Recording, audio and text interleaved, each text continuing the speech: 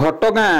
খোলিলা petrol pomp নমস্কার জয় মা তারিণী কেড়ে নিজর স্বাগত করছি মু কবীন্দ্র রাউত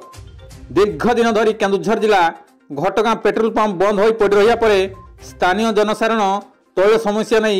নাহি নথিবা হীনস্থা হেউথিলে দীর্ঘ পনেরো কিলোমিটার দূর হরিচন্দনপুর ও ঢেঙ্কিকুট পেট্রোল পম্প উপরে লোকমানে নির্ভর করুলে